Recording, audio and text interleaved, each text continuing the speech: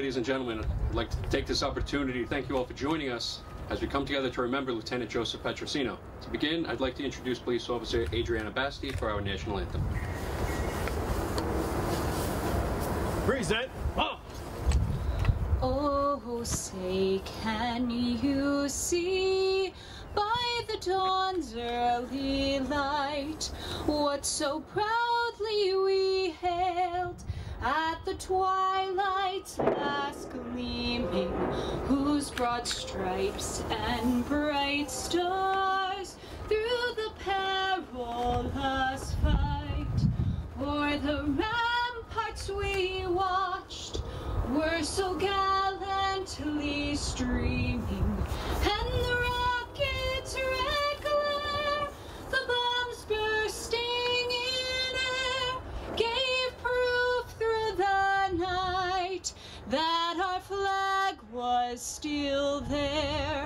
Oh, say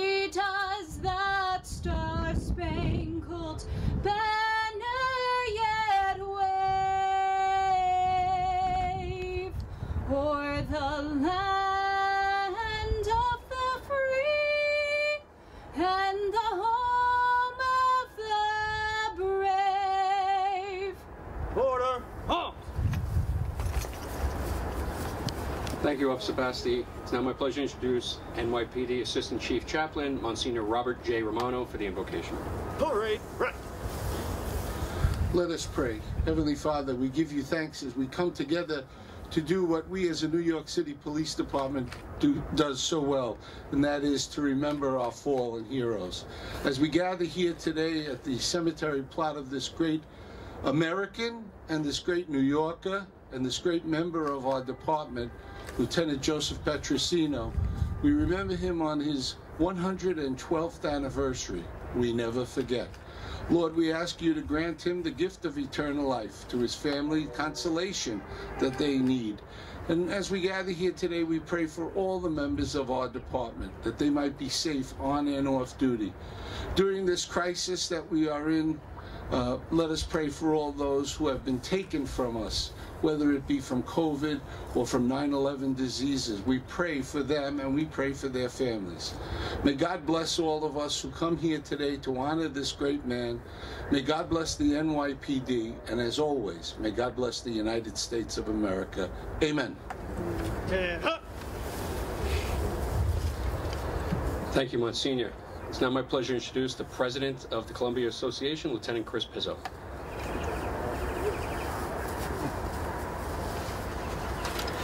Good morning. Welcome, everyone, to the 112th anniversary of the memorial of Lieutenant Joseph Petrosino. First, Monsignor Romano, thank you for the help with the, the no rain. Thanks for helping the big guy. We appreciate that. Please allow me to give you guys a brief biography of this amazing man's life. And I must say this will only be brief because there's just so much that this man did. Lieutenant Petrosino, whose name was originally Giuseppe, was born in Padula on August 30th, 1860. When he was just 13 years old, he came to America with his family in 1973, and they settled in Manhattan. He had to teach himself English, and he had to help support his family. In order to do that, he started polishing shoes near 100 Center Street. So for those who don't know that, that was the original police headquarters, and that's uh, of, of the time. And that is where he met um, a young man by the name of Theodore Roosevelt, who was very impressed with this man. And he took a liking to him and told him about the police department and encouraged him to join. So at the young age of 23, on October 19th, 19, uh, 1883, he joined the greatest police department in the world. It is recorded that he is the first a, member of the New York City Police Department that was able to speak Italian, and not only Italian, but many of the different dialects. When only 12 years old, well, I'm sorry, I'm sorry, when only 12 short years on the job, he was promoted to detective sergeant, and they made him the commanding officer of the homicide division, which was in that day was a, a remarkable feat with only having, you know, 12 years on the job. The pinnacle of his career came in 1908 when he was promoted to lieutenant and placed in charge of the Italian Squad, which is an elite corps of cops that um, and detectives that were assembled specifically to go after the mafia and organized crime within New York City. In March of 1909, Lieutenant Petrosino went on one of the most dangerous assignments still to this day. He traveled to Sicily to gather criminal information on members of the mafia to have them deported from America. Unfortunately, the press let the word out that he was coming and the mafia wanted to send a message. On March 12th, 1909, Lieutenant Petrosino was killed by mafia career criminal Paul Palazzo, who was a member of the Morello crime family. Lieutenant Petrosino did so much that they had two funeral masses for him. One was in Palermo, and then on April 12, 1909, they conducted another funeral rite for him at St. Patrick's Cathedral, where over 200,000 people took part in his funeral procession. Today, he is still countlessly, countlessly remembered with multiple parks and memorials and statues throughout both New York and, the, all of Italy. Most importantly, he is remembered for starting the world's first bomb squad within the police department and many of the tactics that are still used today. Thank you.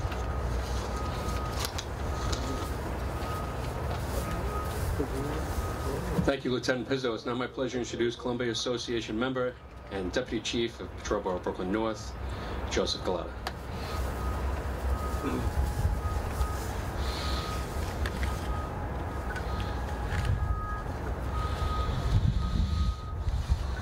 Good morning.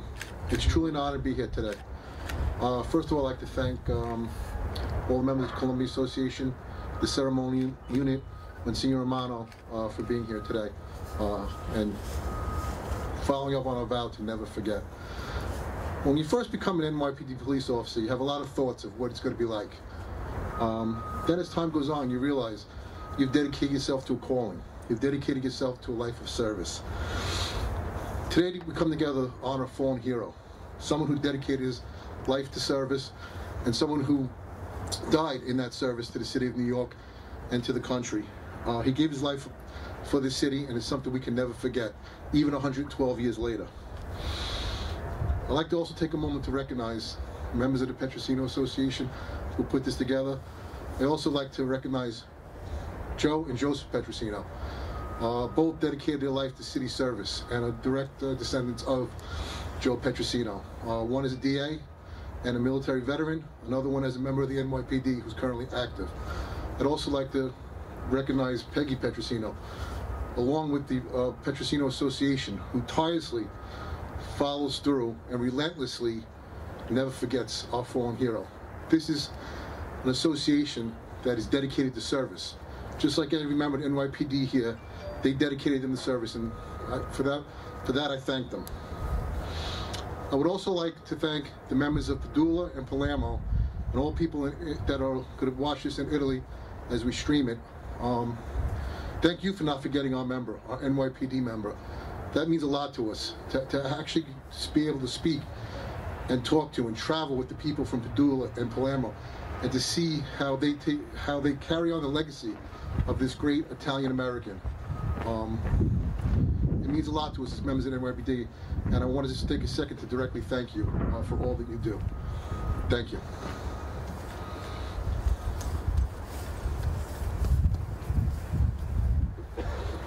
And thank you, Chief. It's now my pleasure to introduce the President of the Petrosino Association of America, Robert Fonte. Thank you, and uh, good morning.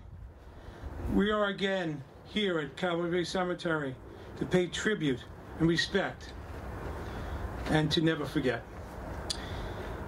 Lieutenant Joseph, Detective Joseph Petrosino, Giuseppe Petrosino, and all those that continue to protect and serve. I want to recognize and thank the NYPD, Lieutenant Chris Pizzo, Chaplain Monsignor Romano, the ceremonial unit, and again, joining us here today, one year later. They have never forgotten. We also ask you to join us in celebrating the life of Joseph Petrosino, because it's not how he was how he died, but how he lived. It was a life well served and sacrificed to protect us all, some 112 years later, still going forward. Unfortunately, we are back to the future and still see the assassination of officers in our great city, country, and even world. We have been plagued by a pandemic just started one year ago, and we mourn the, we mourn the losses of family and friends as we mourn the loss of our hero, Lieutenant Detective Joe Petrosino. Let us go from this hallowed place in Calvary Cemetery and take with us the memory of those that gave their life and those that still protect and serve you, especially during these difficult and trying times. God bless and protect you, your families, and those that serve with honor and distinction. And God bless the Petrosino families here and abroad, our Trinity here and abroad, and these United States of America. Thank you.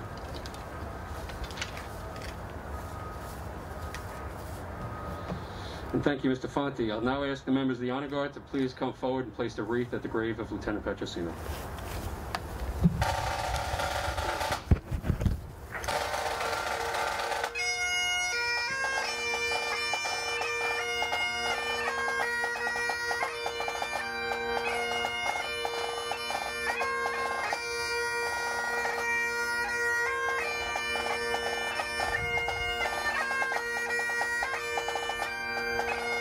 Something a little interesting.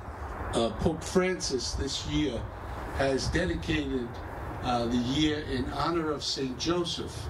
And seven days from now, we will celebrate the feast of St. Joseph. And St. Joseph is the patron of the entire church. He watches over it every single day, makes sure that we're all safe. And uh, we come together today, I think, to honor another St. Joseph, uh, one who gave himself uh, for people to be safe and to uh, bring up the whole idea of the Italian culture, the Italian people, not to look at the Italians in a downward way, but always to look upward.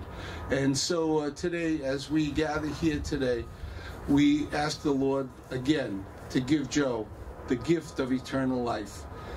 We come together today to remember, and we will always remember. And we place this prayer now in God's holy name. May God bless all of us. May God give us that gift of eternal life as well when it is our day to go. And uh, that we might be able to share in the glory of being with Him and with the two St. Josephs. Amen. Amen. Thank you, Monsignor Romano. Ladies and gentlemen, before we conclude, I'll ask everyone to please join us in singing God Bless America, which will be led by Police Officer Adriana Basti. God bless America, land that I love. Stand beside her and guide her through the night with the light from above. From the mountains to the prairies to the oceans white with foam. God bless America, my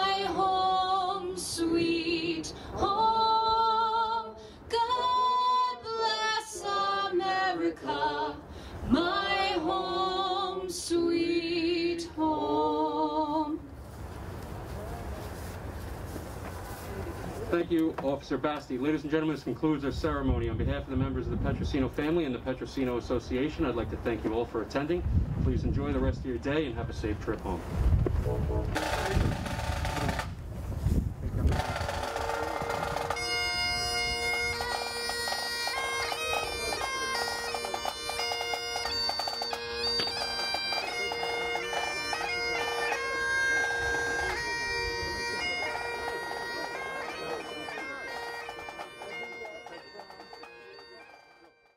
Good morning, everyone. I'd like to introduce myself.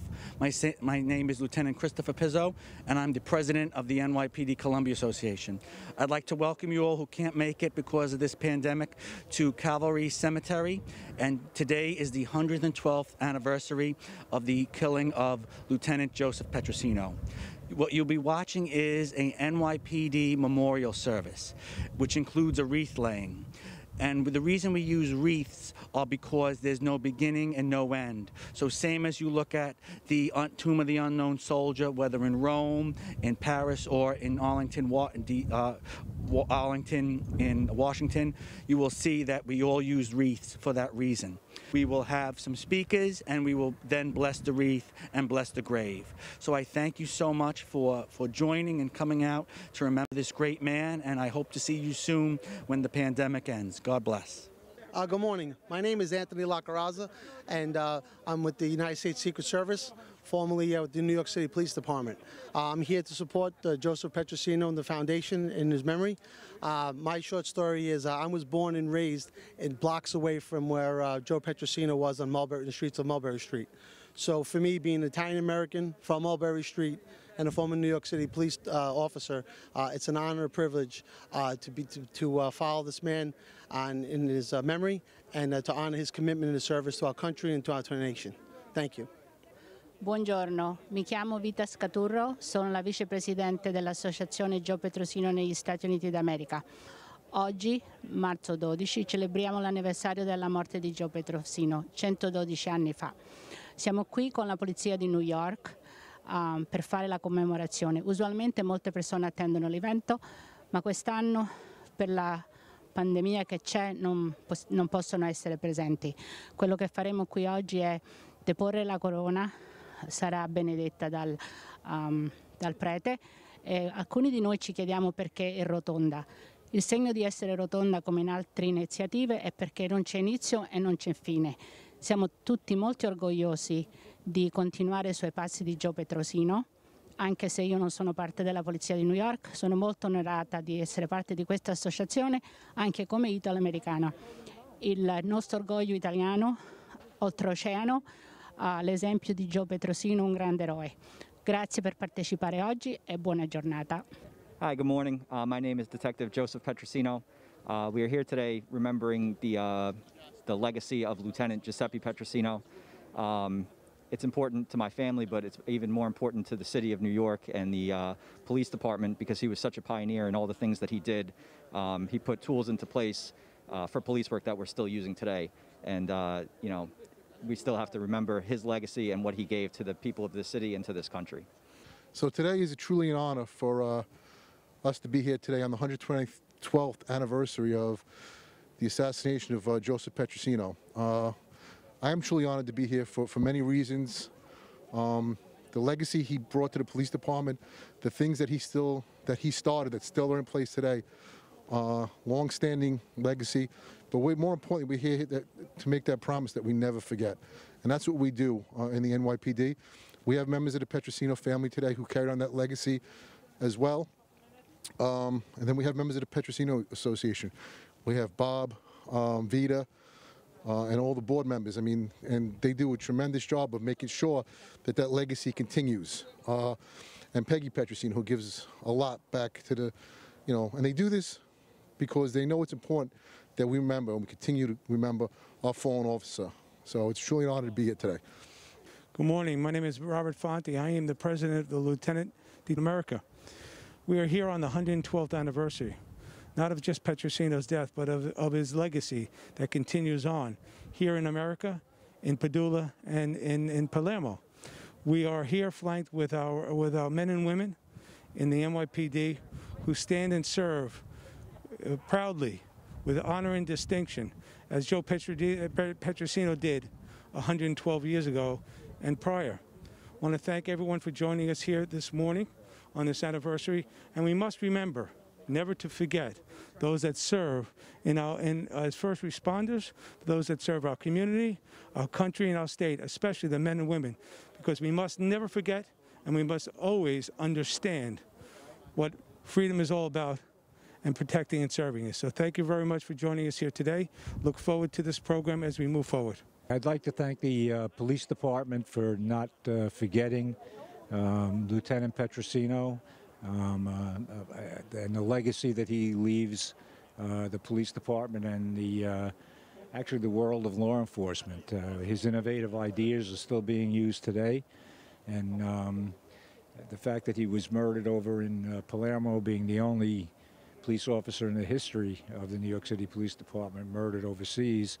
Um, I think he's left a, a, stamped a, um, a lasting uh, image on the police department. I'm very grateful for the police department to do this uh, almost every year.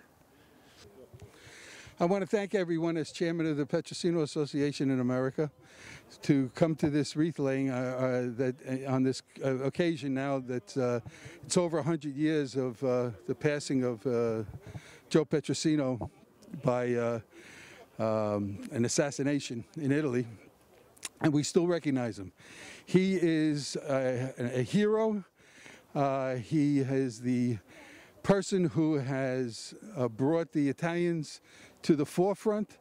He is instrumental in uh, making the uh, bomb squad, canine squad, and the undercover squad for the police department that they still use today. Alive, uh, he was a, a live hero. Now he's a, an icon that we that the police department will never forget. The Petrosino Association will never play, forget, and Italy reveres as a hero, and they'll never forget him. So I want to thank everybody for coming to this laying. I'm here today to fulfill a promise that the New York City Police Department always keeps, and that is to remember our dead. And we come together today to remember someone who was killed 112 years ago, but we still remember Lieutenant Joseph Petrosino, a member of our police department, a hero of America, and a hero of New York City. May he rest in peace. Hi, good morning. I'm Peggy Petrosino, and I'm here today to honor the legacy of Lieutenant Detective Joseph Petrosino of the NYPD.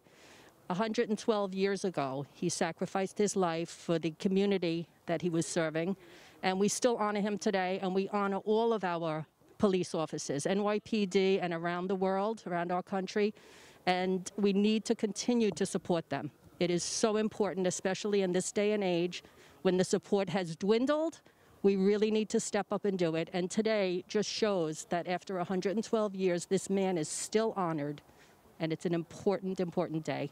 Thank you. I'm Josephine Maietta. I represent the Association of Italian American Educators. I came to pay tribute to Joe Petrosino and to show my respect and love and admiration to the Association of the Joe Petrosino. So thank you so much for never forget this wonderful human being who gave his life just to keep us safe. Thank you, Joe Petrosino. We love you.